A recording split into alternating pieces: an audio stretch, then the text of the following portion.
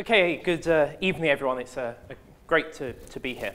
Now, I want to uh, tell you a bit of work that I did towards uh, the end of my PhD, which I, I recently finished at the computer laboratory at the, the University of Cambridge. And uh, that's this thing, Captain Buzz, which is what we describe as being the, the real meaning of airplane mode for your phone.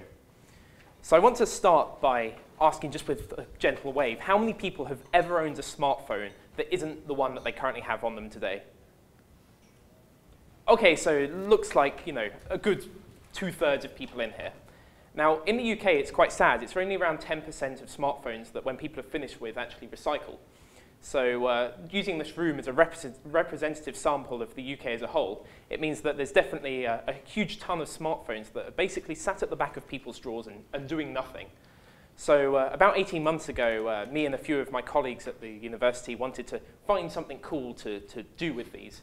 Um, and we decided it'd be really cool if you could take all these old smartphones out of your drawer, which may have you know, broken Wi-Fi, screen not working, slightly iffy battery life, and put them to use something cool. And we decided building uh, a smart, building a drone that you can fly entirely with your smartphone was the, the, uh, a cool thing.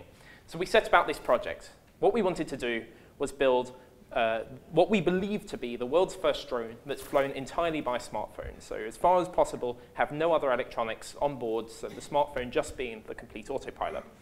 You may ask, why do you want to do that? Now, one reason is because we can, and we thought it'd be fun. Uh, another reason is that we, we noticed it was the 165th anniversary of the first drone. So these were called the uh, Austrian balloons. It's what you see up here in the, the top left. Now, these were uh, basically war devices. So the Austrians were at war with Venice, of, of all places, and uh, wanted to cause mass uh, devastation to that famous Venice road system. So what they did was they built these sorts of big balloons where there was oil that would burn in the middle, so the, the gas would expand, it would lift off, and then if they're lucky and the winds are blowing in the right direction and they've timed the oil correctly, the oil will run out, it'll come down and explode over Venice and uh, you know, blow up whatever's in Venice. And really since then, the, if you look at the state of what people have been doing with drones, it's largely been dominated by militaries. We've had the V1s, V2s, and even today things like Hunter Hawks, uh, which remain as controversial as ever. But when we looked around, it wasn't all bad news. This thing here is quite cool if you haven't seen it. It costs about 20 pounds off eBay and is the world's smallest drone. It fits on the, the palm of your hand. And uh, they claim that it's so light that even if you crash it, it doesn't have enough energy to destroy itself. But I'm uh, not entirely convinced. So we thought, well, we want to go and build a drone. And we started looking at how, what sort of thing do you do nowadays to, to build a drone? And the first thing that we did was kind of look online, and people say, oh, you know, you can build your own drone using things like an Arduino, and all you need is an Arduino, which is great if like you want to add one to three and stuff. But like most drones need some sort of sensors and to know where they are and things like that, and uh, also need to be able to, to control the drone around the sky. So you then go and hit eBay and you buy all these like random things like barometers, GPS, things to log, cameras you can take cool selfies. Uh, and you get all of them delivered when they've come from like China on the boat, and six months later it's the middle of the winter and you've got all your stuff together, So you, you then go and assemble, and you kind of end up with something that basically looks like this. You, know, you get a pile of wires together, and you, you need to then try and write the software to build it. So we actually did this. We uh, bought, in, in parts, a hexacopter, got all the bits together, spent a few weeks assembling it, programming it, then uh, we're taking it out on the second flight, and uh, before, just before we uh, handed over to the autopilot. We're just giving it a test run around the sky. I said to my friend, God, James, you've got that flying high up there. He turned around and said, oh, don't worry, it's, it's well within the safety limit and the, the legal limits of flying. Uh, well, you wouldn't want it to crash from there, would you? And uh, lo and behold, about 10 seconds later, half of the engines turned off, so the thing did a nice cartwheel in the air. We spent a good half hour picking up parts from, from playing fields. And uh, it, was, it was a bit sad, never flew again we were really thinking, well, all these parts that you know you try and get together, what you're trying to get out of it is like, where is the where, where is the drone? How is it moving? Um, like, can we take pictures? And you think, well, you have all of this in your pocket. Like, it's in your phone already. Could we build a drone using just one of these things? So, uh, well, we got to work. So the, the first thing we did was build a, an airframe because not invented here syndrome is real anywhere that you go and there's, there's techie people. So uh, we got a laser cutter and some foam boards. If you've seen this stuff, it's like two or three millimeters of foam covered in card. super cheap. We bought like 10 of these sheets for about 30 pounds. I think a complete airframe costs about like five pounds to build. Um, then when we get all of that, we assemble it and it, it looks something like this. So this is basically the foam board hot glued uh, all over the place and then copious amounts of sellotape and uh, more sellotape to cover the, the scratches. So this, this airframe we, we call Hopper 3, named after Andy Hopper, the uh, co-founder of, of ARM. Um, I'll let you guess why it's Hopper 3 and where Hopper 1 and 2 may have ended up. So what we built was a smartphone app, which you can see on the left. So it's just a standard Android smartphone app. You, you launch it and you get a, an artificial horizon like that, and it creates a, a buzzing sound. And then what we actually do is use the buzzing sound coming out of the headphone jack and connect the headphone jack to two servos on the Delta Wing glider, which means that you can uh, uh, uh, control the app around, around the, the, sky. Now, Captain Buzz comes with uh, add-on purchase, which is if you pay 59 pence extra, you get this wonderful ground crew team who uh, helped design it. So there's, uh, from left to right, people who've helped on the project. Ramsey Faragher, Daniel Wagner, James Snee, Brian Jones, and Timothy Go, who have all been instrumental in this work. So the rough thing that you do is, uh, uh, initially we, we can fly the drone up to a safe height uh, using a, a, standard controller. Uh, this is just to make sure we don't have any incidences when we're too near the ground or, uh, or, or, landing, but in principle we could use the, the app from, from the start. And this is the app running. As you uh, hear, when you turn up the volume, makes a horrible buzzing sound. This is uh, super annoying to debug, and surprisingly often you do actually have to do debugging by, by listening, interestingly is how they debug the EDSAC as well. So uh, when you plug it in, you can then flick a switch on the controller, and then uh, when you do so, you, the, the uh, servos will move around corresponding to what you do with the app. So this is the uh, drone trying to fly straight and level, and we're just using the accelerometers, gyros, and whatnot on the phone to understand how it's currently positioned and, and the, uh, how to move around. So then when you fly the app, you, you put the, uh, the, the, phone inside the drone, throw it away, and the, the phone does all the rest. It really brings an entirely new meaning to the idea of my phone has just crashed. So basically what we're doing here is pulse width modulation. So this is a, a audio signal that square waves that are normally 20 milliseconds apart and you uh, either lengthen or, or, shorten them to change uh, the signal you, you output.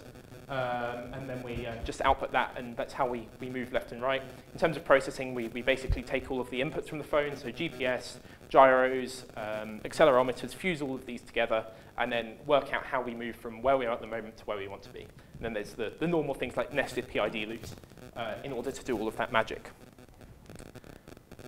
So uh, this is the sort of thing that we uh, have extended Captain Buzz to do. So whilst I said initially that what we wanted to do was to have no other electronics on board, uh, and, and, all the things I've shown you so far have involved no other electronics. If you want to control more than two channels, it's a bit difficult because few humans have more than two ears. So uh, until that change happens with evolution, we've had to use electronics. So if you want to control uh, things like rudders, you can then use this breakout board that we've designed where you can do multiplexing of audio channels on top of each other. But that's sort of an aside. We, we're not using that for like the core work here. So just as a recap, what we basically do is have a, a battery in the drone that, that powers the motor. Um, then the app um, talks to the drone, move, moves the servos, and just for debugging and flying and things, we have this uh, buddy box system so you can control the drone from the ground and uh, take over if there's any emergency or any other thing that you, you need to worry about. So uh, having built the thing, we, we decided to evaluate it. Now, we went for a very scientific approach of uh, two different technologies and having a tick box between them. So on the left, we've got uh, Google Project Tango. This is like the latest thing that Google are really trying to push. It costs 256 pounds in a very geeky way from the Google Play Store, and it's uh, the, the technology that Google are trying to push is, uh, for positioning, so it has uh, structured light and does various um, uh, visual flow uh, algorithms.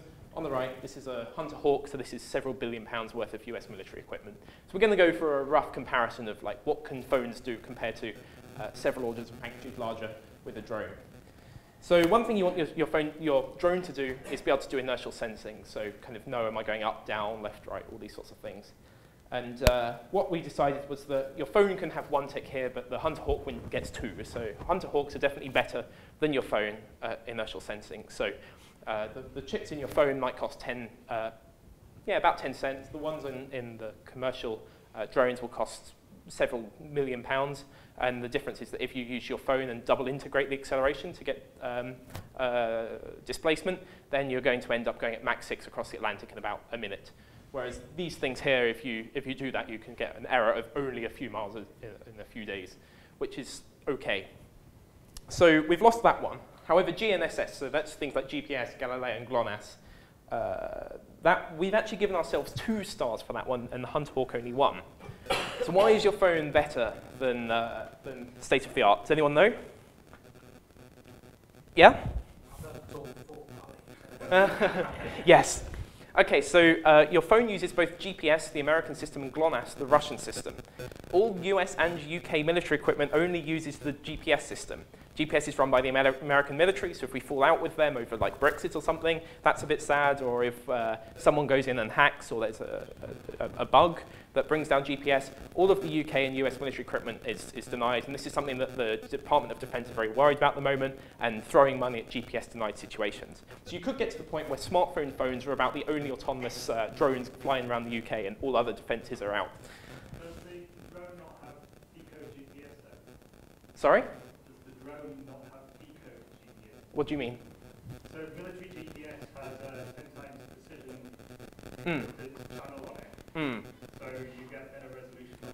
Sure, you do, but the, the, the problem is more GPS denied situations. So if you, so as the South, as the North Koreans do, you wipe out GPS in South Korea um, by basically transmitting really high noise, and then you get into an arms race of who can have the best antenna arrays and things like that. But basically, it, it's a really hard problem to, to solve GPS denied. And if someone just hacks the base stations and turns off the signal, like you're screwed, right? Um, okay, in terms of alternative navigation, uh, so this is things what, that you can do if GPS is denied. We've slightly cheekily given ourselves two ticks in the Hunt Hawk 1 because you can use all of the visual flow algorithms, which are much more state of the art than the, the military process to, to work out where you are and distances you've traveled and things like this. Um, and also with all the sensors you have on the phone, you can then use uh, ground stations in order to track. For high computational performance, your phone loses out. There's, uh, the power on the phone is definitely less than on a, on a military piece of equipment, and you could just put a Raspberry Pi in one of these things, and you're always going to keep up with any growth in mobile phones, which is a bit sad. But the last one's kind of cool, which is reprogrammable on the fly. So a nice thing you can do if you have your drone being flown by an app is use the App Store to push updates to the drone whilst it's flying around. Because normally you want to land the drone and then update it and then fly it and say, oh, how does it work now? But it's like really tedious. It's complete faff to land the thing, plug it in, and then fly it again. It's much more fun if you just push a new brain to it as it flies. And uh, we haven't found any instances where the US or UK military have pushed entire new brains whilst they're on the way to the war zone. Yeah, that's pretty classified. The assumption is you just have one. They could have multiple, multiple algorithms and multiple firmware running uh, because they normally have Cora. Mm. So they run N out of K and then they do the polling. That's how they do stuff. And they s- send stuff to space. So I would be very surprised if that were not the case because otherwise, the things that you said, a lot of would be very, very effective. Oh, okay. Yeah, uh, so, so we spoke to a few military people and they're like, yeah, we, we, we try not to push the entire new thing. So yeah, you could do various things like quorum assembly, but then like, how can you replace that in flight? So you can do one at a time. Yeah, but then, then you have the thing which decides which one to go for, right? N out of K, right? So you just pull and do an N out of K. Okay, Fair. okay. Or you can run consensus algorithms if you really want to. Oh, yeah, okay, fair enough.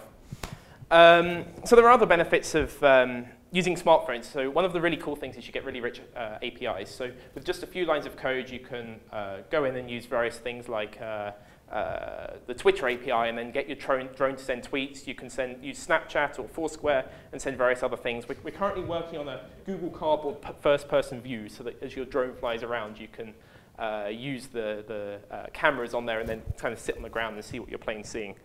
Um, we've actually already built an Android Wear extension, so uh, correct me if I'm wrong here, but we also think this is the first time where you can say to your watch, OK Buzz, fly in a loop the loop, and your drone will fly in a loop the loop. So I don't know if the military have watches flying their drones, but maybe they do. So uh, you probably want to see it fly. So uh, here you can see this is just as taking off, and uh, so this is flying around fields in Cambridge. Now, if you, if you go around here, um, I think we're just about to, to fly in a loop the loop. So, uh,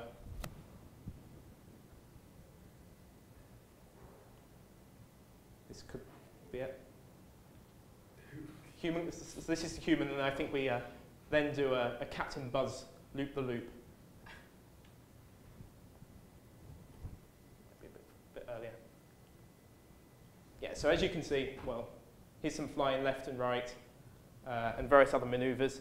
Then uh, on the next video, one of the really nice things actually about Captain Buzz is that wh- when we fly, it's kind of, you know, flying like go left, go right. Captain Buzz is actually quite a fighter pilot, so uh, We, we've uh, got the, the loops tuned up so high that you command it on a, a head, just like swings round into that angle. Um, one of the, the reasons for this is that uh, to, to stay within UK legislation of how far your drone can fly, you actually need to basically keep flying round. And if you want it to do anything more interesting than circles, you need to uh, pull quite sharp turns, really.